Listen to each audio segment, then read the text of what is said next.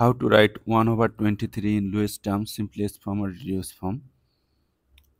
To reduce this fraction we need to divide numerator and denominator by the common factor.